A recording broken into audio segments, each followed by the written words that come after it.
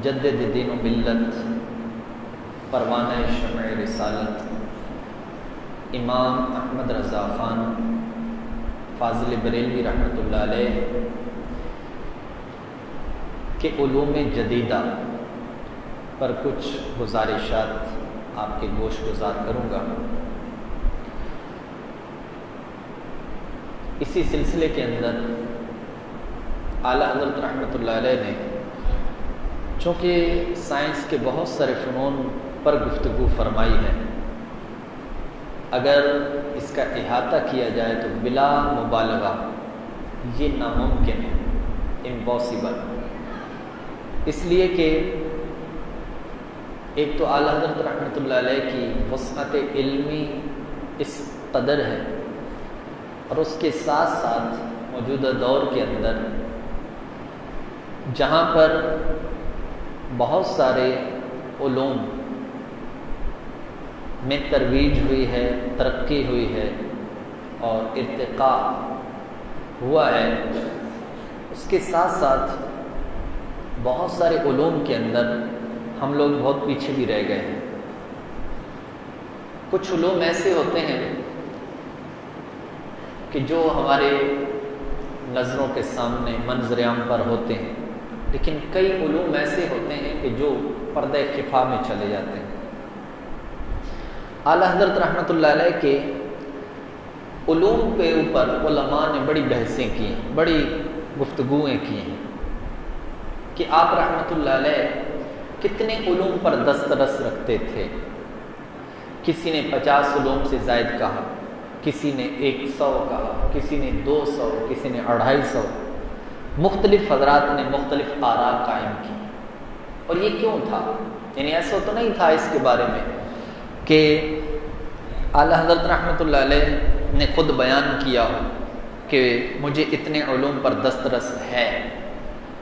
چند ایک علوم گنوائے ضرور ہے لیکن کن کن علوم پر آپ کی دسترس تھی؟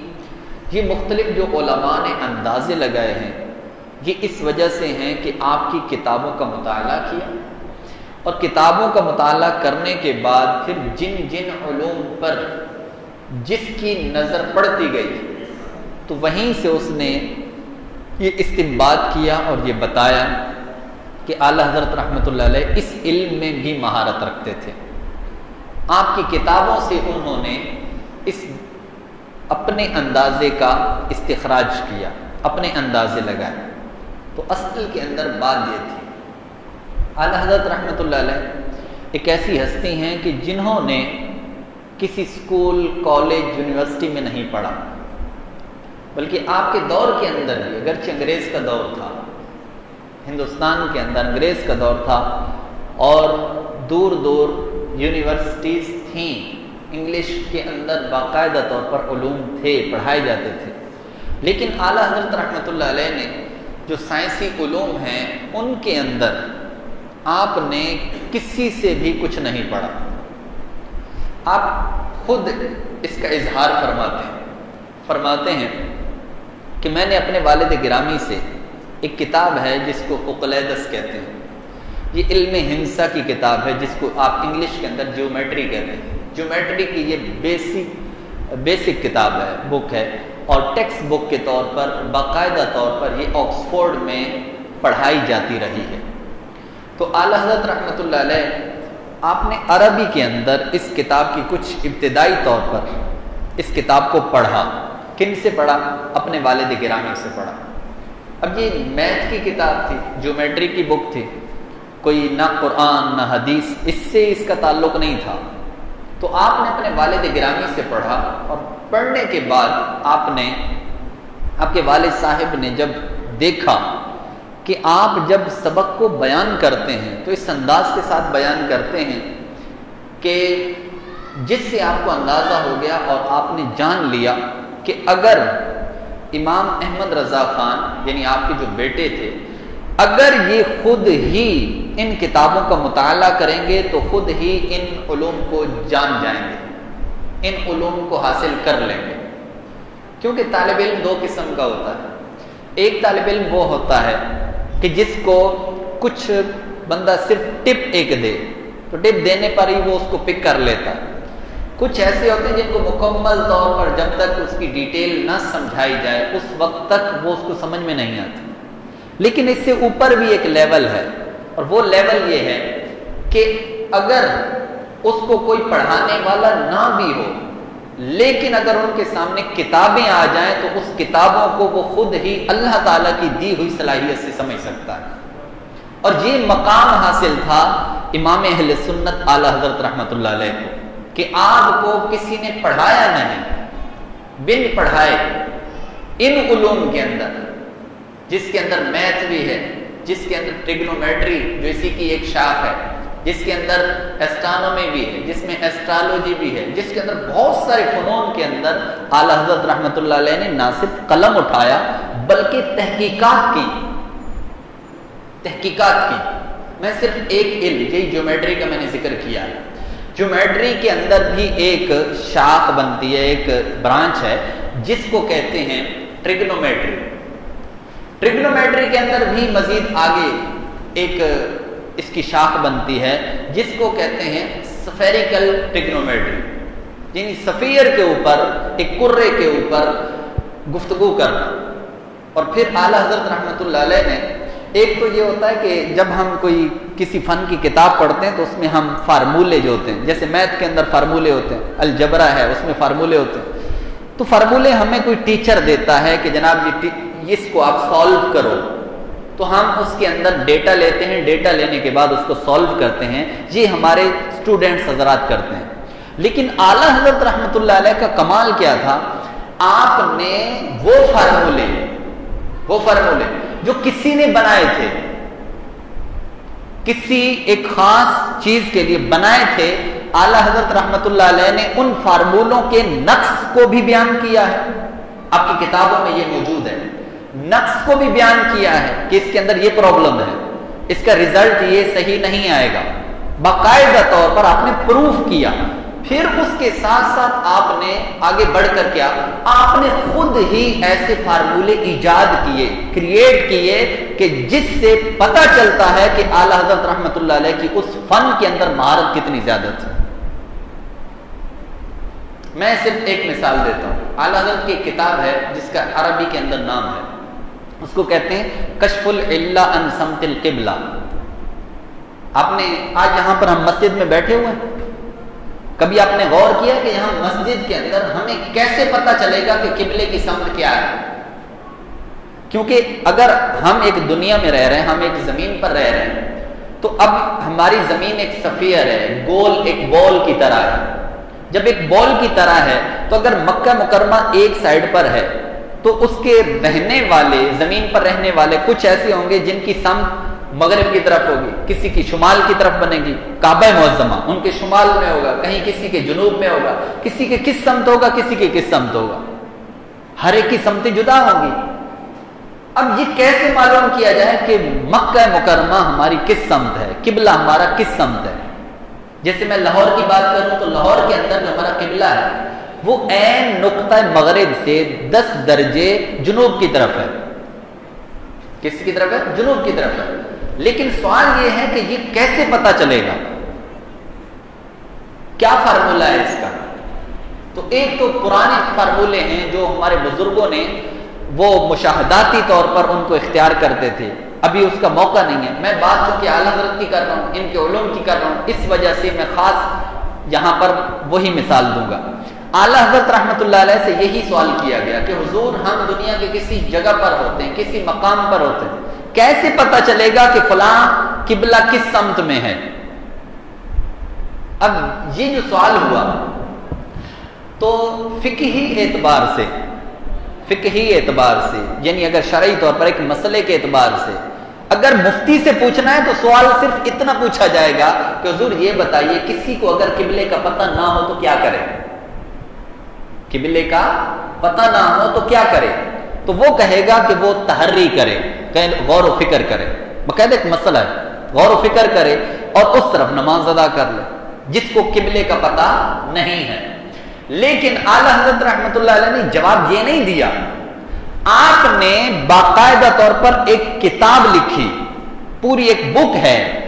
اور اس بک کے اندر آپ نے پورے سفیر کا جو ہماری زمین ہے۔ اس پورے سفیر کا۔ آپ نے جو اس کی جیومیٹریکل جو اس کی صورتیں بنتی تھی، وہ ساری کی ساری صورتیں بیان کی اور صورتیں بیان کر کے ہر ایک کے آپ نے فارمولے بیان کیے۔ اور آپ نے اس کتاب کے اندر دس فارمولے جو کہ ٹریگنومیٹری کے تھے، جس میں sine theta cos theta tangent theta یہ ہم یوز کرتے ہیں۔ یہ سارے کے سارے فارمولے اعلی حضرت رحمت اللہ علیہ نے کہ جس نے ایک دن بھی کسی سکول کے اندر نہیں گزارا، جس نے ایک دن بھی کسی کالج اور یونیورسٹی کا منہ نہیں دیکھا، وہ امام احمد رضا خان کہ وہاں بریلی کی سرزمین پر گھر میں بیٹھ کر جنہوں نے وہ علوم حاصل کیے کہ آپ نے دس وہ فارمولے ایجاد کیے کہ جو آج تک اگر ان کو ہم یوز کرتے ہیں، استعمال کرتے ہیں اور ان کی مدد سے اگر سمت قبلہ معلوم کرتے ہیں، قبلہ ڈائریکشن معلوم کرتے ہیں، تو اس طرح وہ ایکوریٹ آتی ہے، گویا کہ انسان اپنی آنکھوں کے سامنے دیکھ سکتا ہے کہ سامنے خانہ کعبہ موجود ہے۔ اس طرح کے وہ آپ نے اصول بیان کیے، وہ فارمولے بیان کیے۔ اب یہ ساری جو کتاب لکھی گئی ہے نا، یہ اردو زبان میں یہ والی کتاب اردو زبان میں لیکن اس کے اندر جو ٹرمز ہیں، اصطلاحات ہیں، وہ ساری کی ساری عربی میں یعنی آج کا اگر کوئی اسٹوڈنٹ چاہے کہ میں کیلکولیٹر پکڑوں، وہ فارمولے میں اس کے اندر انسرٹ کروں اور پھر اس سے میں کوئی ریزلٹ کا آؤٹ پٹ نکالوں تو یہ بہت مشکل ہے، نہیں ہو سکتا۔ اس کی وجہ کیا ہے؟ کہ یہاں کی موجودہ دور کے اندر ٹرمز اور ہیں، اس دور کے اندر اصطلاحات اور تھی جس کی وجہ سے ہم ان کو استعمال نہیں کر سکتے۔ لیکن الحمدللہ، اس کا بھی حل علماء نے نکال دیا۔ اور وہ حل کیا ہے؟ کہ وہ جو عربی کے اندر اصطلاحات تھیں، ان اصطلاحات کو انگلش کے اندر کر کے اب وہ بھی کتابی شکل کے اندر سامنے آ چکی ہیں کہ اعلی حضرت رحمت اللہ علیہ نے وہ فارمولے ایجاد کیے کہ اگر آپ کیلکولیٹر کی مدد سے آپ اعلی حضرت کے فارمولے یوز کرتے ہیں، آپ دنیا کے کسی کونے کے اندر بھی ہیں۔ اگر آپ سمتے قبلہ قبلہ ڈائریکشن نکالنا چاہیں، آپ صرف دو منٹ کے اندر، ڈیڑھ منٹ کے اندر آپ نکال سکتے ہیں۔ کون؟ یہ وہ ہستی ہے جنہوں نے اسکول کے منہ نہیں دیکھا۔ یہ وہ ہیں جنہوں نے استاد سے نہیں پڑھا۔ تو پھر کس سے پڑھا ہے؟ پڑھا کس سے ہے؟ یہ آپ خود اس بات کا اظہار کرتے ہیں۔ آپ نے جب وہی کتاب لکھی نا، کتاب لکھنے کے بعد اس میں تو اتنے فارمولے آپ نے بیان کیے کہ انسان کے کل دنگ رہ جاتے آپ نے بیان کیا، آپ نے فرمایا کہ میں جب والد صاحب کے پاس گیا تھا کہ حضور یہ مجھے پڑھا دیں، انہوں نے فرمایا میں نے جب پڑھنے کے لیے بیٹھا۔ والد صاحب نے کہا کہ بیٹے، آپ اس طرح اس کو خود ہی حل کر لو گے، خود ہی ان کتابوں کو سمجھ لو گے۔ اور ایک جملہ انہوں نے ارشاد فرمایا۔ انہوں نے فرمایا کہ بیٹے، تمہیں تمام نبی کریم علیہ السلط والسلام کی بارگاہ سے یہ چیزیں عطیہ کر دی جائیں۔ یہ عطا کر دی جائیں۔ تم اپنی ساری توجہ قرآن، حدیث، علوم دنیا پر رکھو۔ یہ جو سائنسی علوم ہیں، سرکار علیہ السلط والسلام کی نظر کرم سے تمہیں حاصل ہو جائیں گے۔ آپ خود فرماتے ہیں فرماتے ہیں، اس بندہ خدا یعنی اپنے والد صاحب کا ذکر کرتے ہیں۔ ان کی زبان کی یہ تاثیر تھی کہ آج میں نے ایسے ایسے فارمولے ایجاد کیے ہیں کہ جو اس سے پہلے کسی نے بھی ایجاد نہیں کیے۔ یہ کون؟ امام احمد رضا۔ اچھا آگے بڑھیے۔ یہ تو میں نے ایک صرف ایک مثال دی تھوڑا سا آگے بڑھتے۔ ایک مرتبہ کسی نے سوال کیا۔ اعلی حضرت رحمۃ اللہ علیہ سے سوال کیا۔ کیا سوال تھا؟ سوال یہ تھا کہ حضور ہم پہاڑی پر رہتے ہیں۔ ایک نواب صاحب تھے، وہ پہاڑی پر رہتے تھے۔ پہاڑی پر رہتے ہیں لیکن ہمارے پاس کوئی نقشہ اوقات نہیں ہے۔ نمازوں کا کوئی نقشہ نہیں۔ اب آپ نے دیکھا ہوگا یہ نقشے مسجدوں کے اندر لگے ہوئے ہوتے ہیں۔ یہ کیسے بنائے جاتے ہیں؟ آخر ان کے کوئی اصول تو ہوں گے؟ جی ہاں ان کے اصول ہیں۔ لیکن کیسے اصول ہیں؟ ان کے اصول ہیں وہی ٹگنومیٹری وہی میتھ، وہی جیومیٹری۔ یہ جیومیٹری کے فارمولوں سے باقاعدہ ان کو نکالا جاتا۔ تو یہ پوچھنے والے نے پوچھا کہ حضور ہمارے پاس نقشہ اوقات نہیں ہے، ہم نے روزہ رکھنا ہے، سحری افطاری کرنی ہے وقت کا نہیں پتا کیا کریں آپ ہمارے لیے کچھ اس طرح کے علم میں توقیت جس کو کہا جاتا ہے، یہ والا علم ٹریگنومیٹری کے فارمولوں سے جس کو حل کیا جاتا ہے آپ اس کے ذریعے سے ہمیں وہ نقشہ بنا کر دیں۔ اللہ حضرت رحمۃ اللہ علیہ نے ارشاد فرمایا کہ صحیح طور پر جو اوقات ہیں وہ حاصل کرنے ہیں۔ تو اس کے لیے ضروری ہے کہ آپ کو اپنی جو پہاڑی ہے، جو سطح زمین سے بلندی ہے، سطح زمین نہیں، بلکہ سی لیول سے جو اس کی ہائٹ ہے یا ایلیویشن ہے، وہ آپ ہمیں بتائیں۔ جب تک وہ نہیں بتائیں گے کہ آپ کتنی بلندی پر رہتے ہیں، اس وقت تک اوقات صحیح نہیں ہوں گے۔ آپ نے یہ فرمایا۔ اچھا پھر اس کے بعد ایک جملہ بیان کیا نا، وہ بڑا کمال کا تھا۔ آپ نے فرمایا، یہ کر لو، اگر یہ نہیں کر سکتے، جس کے لیے بیرو میٹر استعمال ہوتا ہے، اگر یہ نہیں کر سکتے، تو پھر ایک اور اگلا کام کرو۔ وہ کیا؟ انہوں نے کہا کہ صحیح گھڑی کے ذریعے۔ اس دور میں گھڑیاں آگے پیچھے ہو جاتی تھی۔ پچھلی صدی کی بات ہے نا، گھڑیاں آگے پیچھے ہو جاتی۔ صحیح گھڑی کے ذریعے۔ کسی دن کا وقت طلوع آفتاب یا غروب آفتاب؟ صحیح گھڑی کے ذریعے سے۔ صرف دیکھ کر مجھے ڈیٹ بتا دینا، دن بتا دینا کہ فلاں دن کو سورج اتنے بجے طلوع ہوا ہے۔ یہ بتا دینا۔ آپ فرماتے ہیں، میں خود ہی کیلکولیٹ کر لوں گا، حساب کر لوں گا کہ وہ پہاڑی سمندر سے کتنی بلند ہے۔ وہ پہاڑی سمندر سے کتنی بلند ہے۔ اس پر میں نے ایک آرٹیکل بھی لکھا ہوا ہے۔ اعلی حضرت نے تو یہ فارمولہ بیان نہیں کیا تھا۔ اس آرٹیکل کے اندر میں نے خود میرا اپنا یہ آرٹیکل ہے۔ اس کے اندر میں نے وہ فارمولہ بھی بیان کیا ہے کہ وہ کون سا فارمولہ ہو سکتا ہے کہ جس کی مدد سے فقط اتنا بتائے کوئی کہ جناب سورج فلان دن اتنے بجے طلوع ہوا ہے اور وہ بندہ کسی بلڈنگ پر رہ رہا تھا، یا کسی پہاڑی پر تھا، یا کسی جہاز کے اندر تھا، جہاز میں تھا اور وہاں سے اس نے مشاہدہ کیا کہ اتنے بجے سورج غروب ہوا یا اتنے بجے طلوع ہوا، تو اب وہ کتنی بلندی پر ہوگا؟ اگر یہ کوئی پوچھنا چاہتا ہے تو وہ فارمولہ بھی اس کے اندر بیان کیا ہے، جس کا اعلیٰ حضرت نے ذکر کیا، فرمایا میں خود ہی حساب کر لوں گا کہ وہ کتنی بلندی پر ہے۔ وہ دیکھنے والا شخص، وہ مشاہدہ کرنے والا شخص کتنی بلندی پر۔ یہ مقام تھا۔ کس کا؟ جس نے سکول کا منہ تک نہیں دیکھا۔ علم کتنا زیادہ۔ اچھا پھر اس کے بعد اعلی حضرت رحمت اللہ علیہ نے جو مین ایک بڑے بڑے، جس کو بولتے ہیں نا کہ وہ ایسے نظریات، ایسی تھیوریز کہ جو اعلی حضرت کے دور کے اندر اور موجودہ دور کے اندر بھی، جو بڑی اپنی آب و تاب پر ہیں۔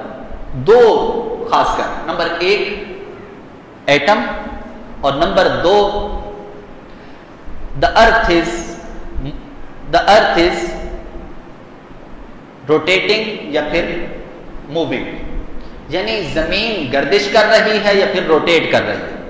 ٹھیک ہے، اپنے محور کے گرد گردش کر رہی ہے۔ اب یہ ایک یہ نظریہ ہے اور دوسرا ایٹم کا نظریہ ہے۔ میں آج آپ کو ایٹم کے متعلق تھوڑی سی معلومات بھی دوں گا۔ اس کی کچھ پیچھے اس کی اس کا بیک گراؤنڈ بھی بتاؤں گا۔ پھر اس کے بعد آپ کو بتاؤں گا کہ اعلی حضرت نے اس پر کیا کام کیا۔ کمال کیا اعلی حضرت اور کہاں سے لیا ہے؟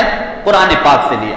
آج ہم ہیں نا کہ ہم جناب قرآن کو ہم نے سنبھال کے رکھا ہوا ہے۔ لیکن اعلی حضرت جو قرآن کو جانتے تھے، کس انداز کے ساتھ جانتے تھے کہ آپ کے سامنے ایک نظریہ جب آیا تو آپ نے کس طرح اس کا دوسرا جو نظریہ تھا، قرآن سے ٹکراتا تھا، اس کا رد کیا اور جو قرآن نے نظریہ دیا تھا، آپ نے اس کو ثابت کیا۔ اچھا سب سے پہلا جو ایٹم کے متعلق، اصل میں ایٹم کا یہ جو جب بھی ہم گفتگو کرتے ہیں نا، ایٹم کی بات نہیں ہوتی۔ اس سے پیچھے ایک اور چیز ہوتی ہے۔ وہ کیا ہے؟ وہ یہ کہ ہمارا جسم ہے یا اس کے علاوہ دنیا کے اندر جتنی بھی باڈیز ہیں، کوئی بھی اجسام ہے جو مفرد اجسام ہے یعنی ایک ہی اجزاء کے ساتھ جو بنے ہوئے ہیں، اس کے بارے میں گفتگو ہے کہ جو مختلف اجزاء جیسے ایک پتھر کو لے لیں آپ۔ پتھر کو لے لیں۔ یہ پتھر کس چیز سے بنا ہوا ہے؟ اس کے متعلق تین قسم کے نظریات تھے میں اس کی ڈیٹیل کی طرف نہیں جاتا۔ پھر اس میں سے ایک نظریہ یہ تھا کہ یہ مختلف اجزاء ہوتے ہیں، ان اجزاء کے ساتھ مل کر بنا ہوا۔ پھر اس کے اندر بھی دو نظریات تھے۔ وہ کیا؟ ایک ہے دی مقراتیس بہت بڑا سائنٹسٹ گزرا ہے جو سب سے پہلے جس نے ایٹم کا نظریہ بیان کیا تھا۔ اس نے کہا کہ کوئی بھی جسم ہوتا ہے، وہ جسم چھوٹے چھوٹے ذرات سے مل کر بنا ہوا ہوتا ہے۔ اور وہ چھوٹے چھوٹے ذرات کیسے ہوتے؟ ہیں وہ متحرک ہوتے ہیں، ہر وقت حرکت کرتے رہتے ہیں۔ موومنٹ کرتے رہتے ہیں اور پھر اس کے ساتھ ساتھ وہ کبھی فنا نہیں ہوتے۔ یہ جو دین مقراتیس تھا، سب سے پہلے اس نے ایٹم کے بارے میں نظریہ قائم کیا۔ اور پھر یہ کب کا تھا؟ یہ حضرت عیسیٰ علیہ السلط والسلام سے چار سو سال پہلے کا تھا۔ یونان کا، یہ فلاسفر تھا، سائنٹسٹ۔ اس نے سب سے پہلے یہ کہا کہ کوئی بھی جسم ہوتا ہے، وہ جسم وہ چھوٹے چھوٹے ذرات سے مل کر بنا ہوا ہوتا ہے۔ ایسے ذرات ہوتے ہیں جو متحرک ہوتے ہیں، حرکت کرتے رہتے ہیں، لیکن کبھی فنا نہیں ہو سکتے۔ پھر اس کے بعد سلسلہ چلتا رہا، یہاں تک کہ اسلام آیا۔ جب نبی کریم علیہ السلام والسلام تشریف لائے، اسلام آیا۔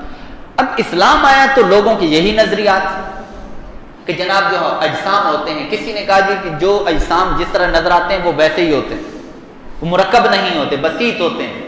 اور کچھ نے کہا کہ نہیں نہیں، وہ مرکب ہوتے ہیں، لیکن کس چیز سے؟ کچھ نے کہا کہ وہ مادہ کے ساتھ اور ایک صورت کے ساتھ مرکب ہوتے ہیں۔ پھر کچھ تھے، وہ کہتے ہیں، نہیں نہیں، یہ چھوٹے چھوٹے ذرات سے مل کر بنے ہوئے تو یہاں وہ چھوٹے چھوٹے ذرات کی بات ہو رہی ہے۔ اب جو اہل اسلام ہے انہوں نے کہا کہ نہیں، کوئی بھی جسم ہوتا ہے، جن کو متکلمین کہتے ہیں کہا کوئی بھی جسم ہوتا ہے، وہ چھوٹے چھوٹے ذرات سے مل کر ضرور بنا ہوتا ہے۔ لیکن وہ ذرات فانی ہوتے ہیں، فنا ہو جاتے ہیں۔ آخر ایک وقت ان پر ایسا آ جاتا ہے کہ وہ ختم ہو جاتے ہیں۔ اب یہ جو چھوٹے چھوٹے ذرات ہم جس کو کہہ رہے ہیں کہ کوئی بھی جسم ہوتا ہے، وہ چھوٹے چھوٹے ذرات سے مل کر بنا ہوتا ہے، اسی کو ایٹم بولتے ہیں۔ انڈیوائڈیبل جس کو مزید تقسیم نہ کیا جا سکے، اس کو ایٹم بولتے ہیں۔ تو اعلی حضرت کے دور کے اندر، اس سے پہلے کے کچھ ادوار کے اندر کچھ لوگ ایسے تھے جو کہتے تھے کہ نہیں جناب، ایٹم ثابت ہی نہیں ہے۔ جس کو عربی کے اندر کہتے ہیں جزے لا جزا کہتے ہیں ایٹم ثابت